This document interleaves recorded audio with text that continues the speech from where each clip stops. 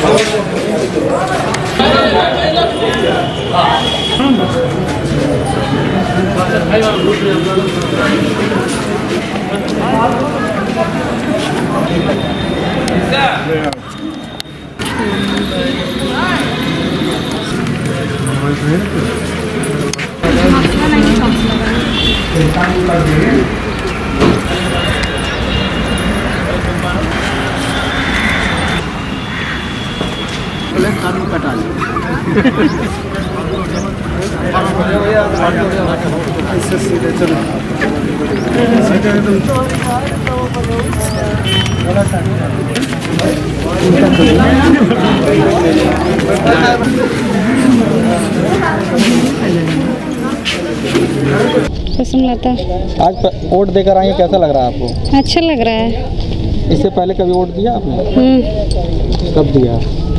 जब मोदी जी जीते थे तभी। बहुत से ऐसे लोग हैं जो वोट देने के लिए घर से नहीं निकलते उनके लिए क्या कहना चाहेंगे? अब हम क्या कहें? उनकी मर्ज़ी है वोट दें या न दें। आपके हिसाब से वोट देना चाहिए कि नहीं? हाँ देना चाहिए बिल्कुल। बिंदु। देकर हैं, कैसा लग रहा है आपको? अच्छा लग रहा है। कितनी बार इससे पहले आपने वोट दिया है? जब तक आप पढ़ा था तब तक दिया वोट। बहुत से ऐसी महिलाएँ हैं जो घर से नहीं निकलती हैं। नहीं नहीं सब देते हैं। परसेंटेज यहाँ का ज़िले का कम रहता है। तो आपके हिसाब से क्या है? निकलना चाहिए लोगों को वोट देने के लिए? हाँ तब क्या निकलना चाहिए नहीं। शिव कुमार श्रीवास्तव। मुझे बहुत अच्छा ही लगा। ये पाँच साल के बाद जो है मुझे अच्छा ही लगा। ऐसा मतदान करने को हमको मिला। और देखते हैं आगे भविष्य में क्या होता है। संध्या द्विवेदी। वोट डाल के कैसा लग रहा है आपको? अच्छा लग रहा है। अपना अधिकार हम लोग ले रहे हैं अच्छी बात है। क्या लग रहा है बहुत से ऐसे लोग हैं जो वोट डा- नहीं डालते हैं। उनके लिए क्या कहना चाहेंगे? गलत है हमें अपने अधिकार का पूरा उपयोग करना चाहिए। स्वाति सिंह। पहली बार मतदान किया कैसा लगा आपको? मुझे बहुत अच्छा लगा और मैंने अपना वोट मेरे हिसाब से मैंने अपने सही कैंडिडेट को दिया है।